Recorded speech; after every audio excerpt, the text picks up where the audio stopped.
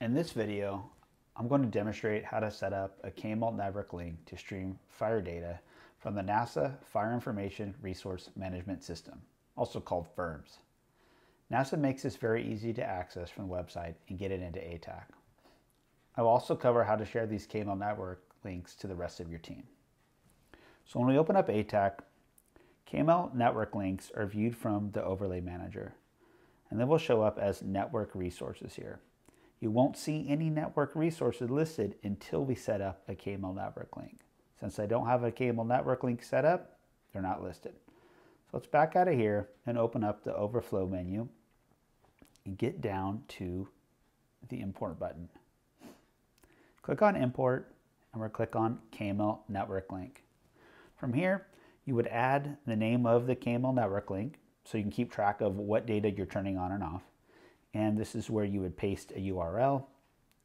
And then the auto refresh button, that, that sets how much time expires before ATAK goes back out over the internet and downloads the latest data. And this remove local content upon shutdown, what that does is any data that you streamed, if you have this checked, when you shut ATAK off and you turn it back on, let's say you didn't have internet connectivity, you couldn't get new data. Well, if you have this checked you're not going to see anything. If you have it unchecked, ATAK will cache that last connection you had and show that data. It's up to you if you want to keep that connected or not. All right, so let's uh, switch apps here and go to the NASA FIRMS website. And so what we're looking to get to is this active fire data area. And you can do that from here at the home site, or we can click this menu here and click active fire data. And viewing this from um, a computer is really good because then you can get a little bit of background on how this data is collected, how often it's collected as well, and some information about the sensor sensitivity. But we want to go to this note about real-time and ultra real-time data area here. We want to click on KML Fire Footprints. And this is the API here, and this is where we can grab uh, this data from, this KML network links. You can see the FirePoint and Fire footprint uh, areas. So there's Canada, Alaska, uh, lower United States and Hawaii, uh, Central America, all throughout the world. So we're going to grab this USA uh, and Hawaii data. And we're going to grab um, the last 24 hours of MODIS. We'll start with MODIS. And we'll just hold that down on the 24. And we want to grab copy link address. Now we're going to app switch. We're going to go back over here to ATAK and we're going to paste in that URL. And now we're going to name it. And this was MODIS. And I'm going to do underscore. You can't use a dash in the KML network link name. And we're going to call this USA, Hawaii, and this was the last 24 hours. You can kind of do any naming convention you want, but if you forget what you just pasted, you can always scroll over here and say, okay, yeah, this was um, USA and Hawaii in the last 24 hours.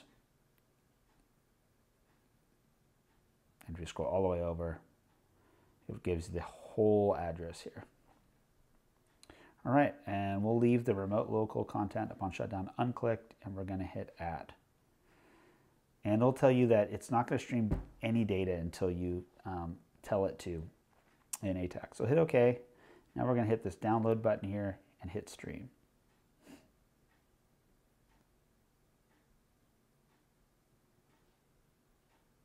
Now you can see that it's um, starting to stream. And this is a fire they had uh, just outside of uh, Tracy, California yesterday. It ripped off about just under 15,000 acres yesterday of grass. And what you'll notice in ATAK as you're zooming in is that it will start labeling it.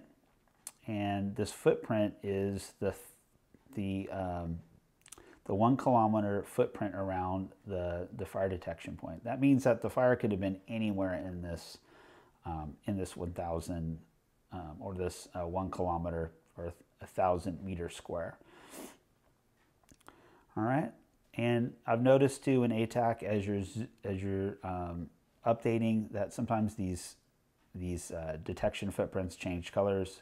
Uh, really not sure where that's coming from in ATAK. It really doesn't affect anything. It's just uh, something you may notice. One thing I'm going to cover is if these labels are bugging you, you can get rid of them and turn them off. So I'll leave them up right now. We'll back out of here and we're going to go to settings. And I'm just going to search for label. And then I can click on this display shape label and turn that off. Now notice when I zoom in, uh, these labels are not here anymore. I'll go ahead and, and turn them back on. And you can just go right back and search for label.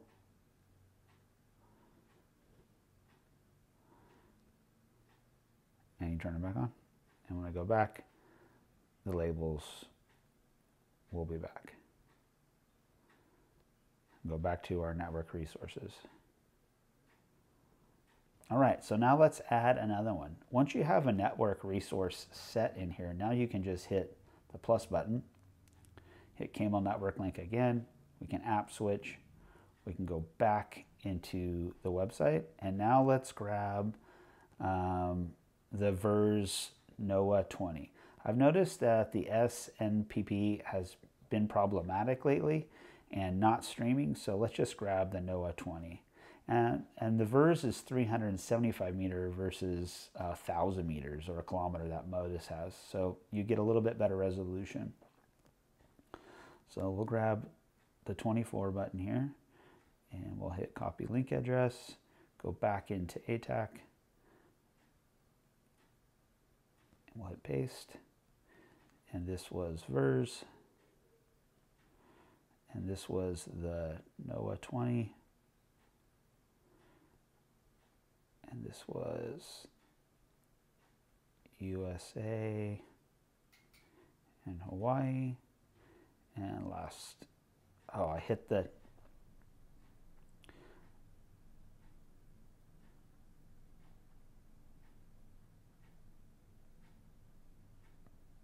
all right this was VIIRS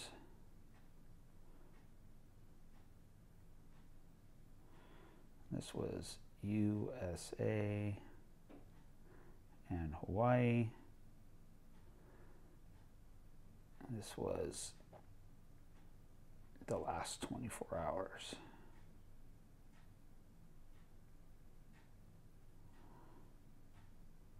All right, I got that the way I want it. We'll auto refresh, hit add, and we'll start streaming.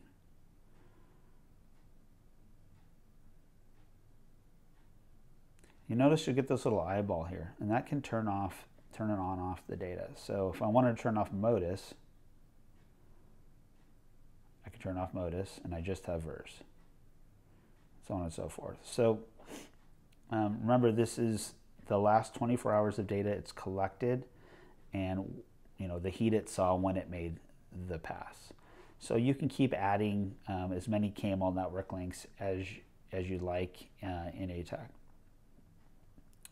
And we can go back one more um, um, one more section here in the overlay manager and this now you can see that the network resources are here and you've got two items and there they are and you can turn them off independently here all right so now you've got these uh, KML network links set up and you want to share them uh, with with your team. A couple ways you can do that. We can hit the send button and you can hit contact and anybody you're connected to um, on the server at the time you can just hit select that person and hit send. Another way is to send it to the TAK server.